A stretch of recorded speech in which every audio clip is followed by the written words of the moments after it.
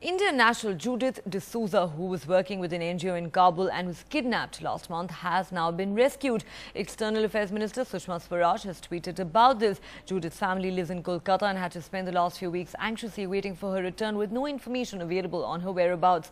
40-year-old Judith, who was working with the Aga Khan Foundation as a senior technical advisor, was kidnapped by suspected militants from outside her office in the heart of Kabul on the 9th of June. She was scheduled to return home in the same week. Her family had written to Prime Minister Modi urging him to help secure her release. And tracking the story for us is my colleague Monideepa Banerjee, who now joins us on the phone line from Kolkata. Monideepa, what a huge relief this must be for the family. What more do we know about Judith's condition and also the circumstances of her release?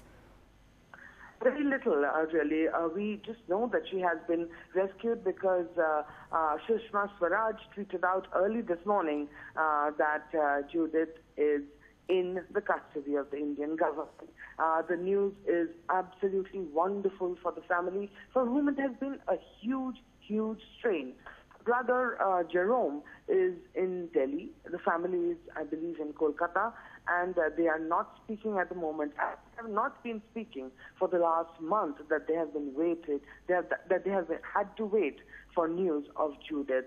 Uh, uh but obviously you can imagine absolute joy in the community. Uh, you know, they live in the Anandopalit area of Kolkata, and there is a, it's a very closely knit community out there. And I remember when we had gone to the house uh, when Judith was kidnapped, friends, neighbors, uh, in fact, uh, you know, many, many people from across the city had come and visited the family, and they are rejoicing. The Kolkata churches will probably hold special prayers because she has been rescued. I've been speaking to her friends, her former teachers, and they are absolutely so relieved. Uh, the, in, you know, what happened to Judith, that is still not clear. Who kidnapped her? Was it the Taliban? Was it some other people? Uh, sources suggest that it was other people, that the kidnap was perhaps only for ransom. Remember, Judith worked with the Aga Khan Foundation, which is